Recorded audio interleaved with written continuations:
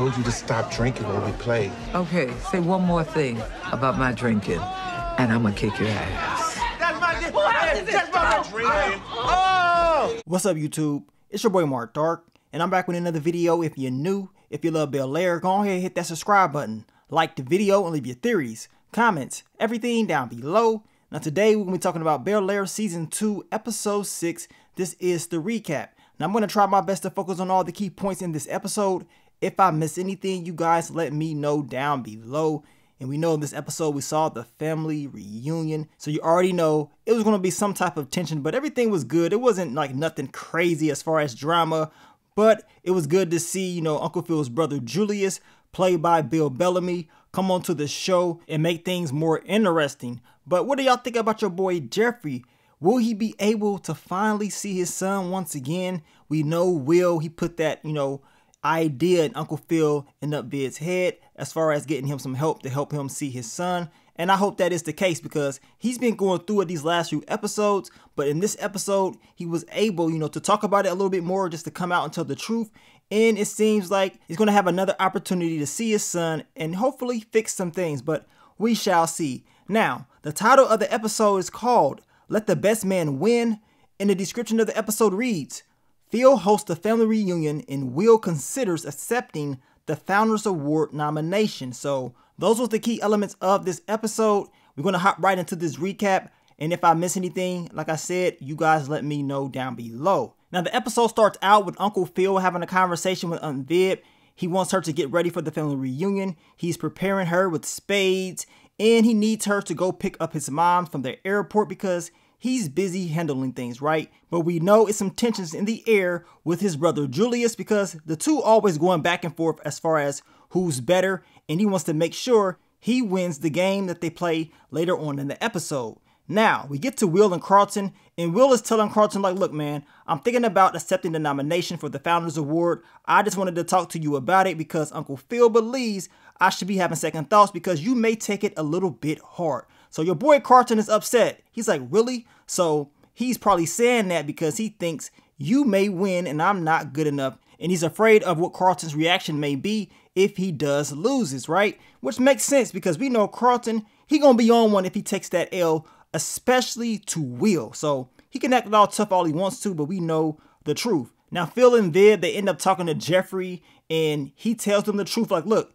yes, I've been looking for my son. They tell him they know and it seems like they want to actually help him out this time around. And they tell him like, look, whatever you do with this information, it's going to be on you. You're going to make that decision as far as what you want to do with it. And they give him the folder with his son's picture and information inside of it. And you can tell Jeffrey was really happy, but at the same time, he's probably scared because he really wants to fix things with his son, but he believes it's, you know, a risky thing to do. Now, Uncle Phil's mom, she arrives, and man, she's cool. She had me cracking up throughout the entire episode. She be drinking, she be getting blazed, and it seemed like she has some product on her, but she just wants to have a good time or whatever, and she ain't really about all that drama because she know Phil and Julius, they always be going back and forth, but Will was happy to see her and all the new family members that he end up meeting at the reunion. Now, Will sees the folder of Jeffrey's son, and now he wants to, you know, dig up some intel. He wants to know what's going on with Jeffrey. So he goes to Carlton and, you know, he has a conversation about it.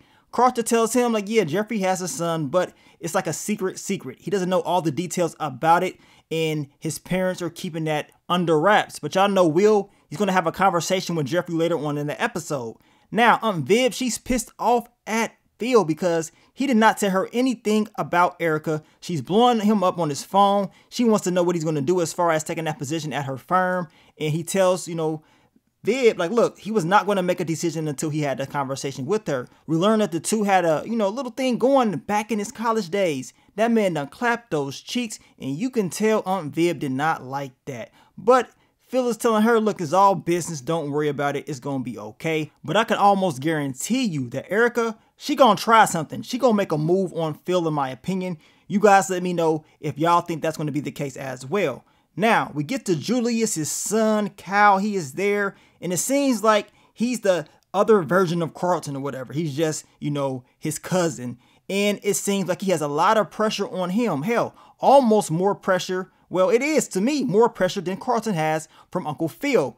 And we can see that earlier on in the episode. And Carlton and him are kind of going back and forth. You know, nothing real serious, just like a, a family competition type thing going on. They're supposed to be having a flag football game to see who's the best. But we know your boy Carlton, he decided to make a major decision when it came to that game at the end of the episode. Now, Will really appreciated Julius's story about how he came up and how Phil was the one that was supposed to be like the golden child. And their pops pretty much told Julius that he's not made for college and all that stuff, pretty much just doubting him.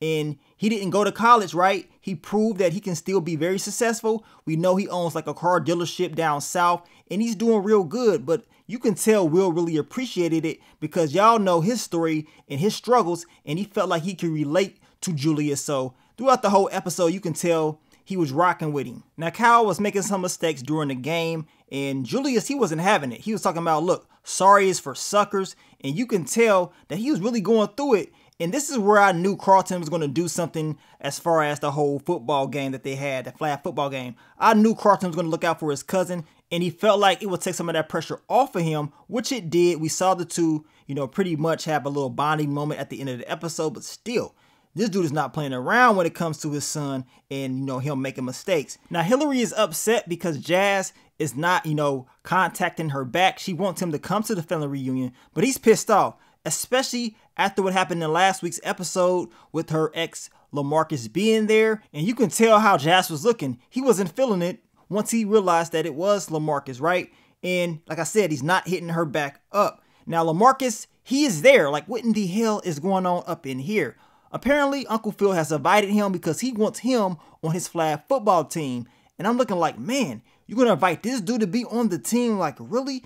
You really trying to win. I mean, these guys don't play the level of ball that he plays, so it's almost like a cheat code. But luckily, Carlton did what he had to do to change the outcome of the game. Now, Hillary is upset because of what Uncle Phil has done as far as inviting Lamarcus there. On top of that, Hillary is a judge to the pie contest, and she's going around tasting all the different pies. Jeffrey told her the name of Uncle Phil's pie, but she wants to get payback even though she was the one that made, you know, the pie that Uncle Phil was saying that he made, she decides to pick Julius's pie as the best one. Uncle Phil was pissed off. He was like, really? So you're gonna really, you know, go against your own pie? And Julius is like, really? So who made the pie? Like you did it? I mean, what are you doing? Like you're doing anything to win. And that's exactly what Uncle Phil was doing throughout the whole episode, y'all. He was trying his best to win no matter what. But just like the football game, this backfired on him as well. Now, Will finally hears the truth about Jeffrey and his son. Apparently, he was in a game back in London and he felt like his kid would be in danger, so he ended up stepping away or whatever. And the mom was taking care of the kid, and we know the kid ended up being adopted because the mom could not handle it. Jeffrey ended up coming to the States, and this is where he started working for Uncle Phil, right? But now he feels like he wants to get back into his son's life. He doesn't really know. He's scared, right? So this is why he was kind of, you know, hesitant on telling Will this story because we know Will and his pops and how that went and what, you know, Will felt about his pops until they finally had that conversation. But Will tells him, look, at least you told me. I'm pretty sure your son would want to know the truth and not the truth that he believes is in his head.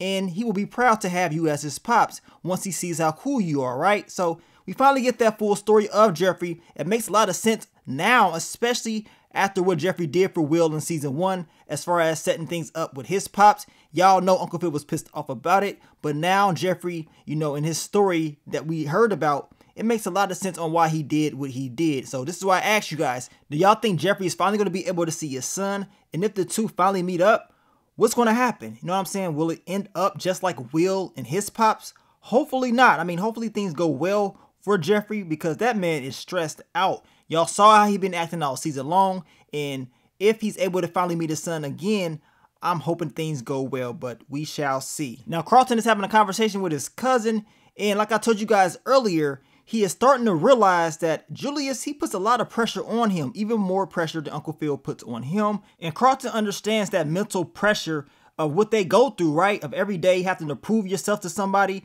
And if you got your pops always, you know, telling you you ain't nothing and, you know, always on your back, it's going to make things worse. So this is why I felt like Carlton was like, man, you know, maybe I don't have it as bad as him. You know what I'm saying? Maybe he can use a break And this is why I believe he really helped his cousin out instead of trying to win and go against him and taking things so serious like his pops and his uncle. Now we get to the flag football game. Carlton was already pissed off that Uncle Phil went out and got LaMarcus because he felt like, man, this is supposed to be like a father and son moment, and you're gonna go get this secret weapon trying to guarantee yourself a win. I mean, this should have been easy, but we know it was not as easy as Uncle Phil thought it was gonna be. And Carlton ends up missing the pass on purpose. And Julius and his team, of course, with Will, they win the game, and he's happy as hell. And Uncle Phil already knew what time it was. He's like, look, I knew you would never miss that pass, and I knew what you did, right? And Uncle Phil tells Carlton, like, look, don't ever think I don't believe in you. I love you. I'm proud of you, right? He just trying to make his son feel good because he understands all the stuff that he was doing throughout this episode was straight up foul for real. And he didn't really show a lot of trust in his son based off his actions. So hopefully things can be okay between the two. But looking out for his cousin and making sure that he gets that tension and pressure off him from his pops Man, that was cool for your boy Carlton. Now, Will, he goes and has a conversation with Julius, tells him that he appreciated everything that he spoke about as far as his journey growing up and the pressures that he was, you know, dealing with.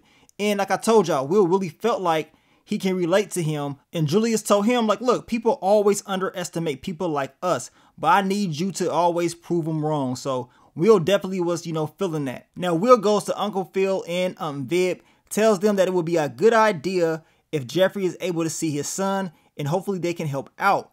And if this is the case, I'm hoping that it takes a lot of pressure off Jeffrey once he's able to have that conversation with his son. Now, they started a new tradition. They want to show respect to the elders, to the people that's done so much for the family. And the person that they're, you know, going to show the respect to is Uncle Earl. We know Ashley was having conversations with him throughout the episode, trying to get his attention. He finally told her that he was a Tuskegee Airman or whatever, and we know he's in World War II. So they wanted to show that love and support for him, and that was cool in my opinion. Now Soul Train line has started. Everybody's having a good time out there dancing, but LaMarcus, he is looking for Hillary. He wants to find her. Hell, he even said earlier on in the episode that he really wants to get back with her and he's not going to stop until that happens. He goes into the house. We know Hillary, she is still trying to get in contact with Jazz and she was talking a lot of stuff this episode, talking about I ain't going to get back you know, with LaMarcus, I'm good. She did not even want him there, but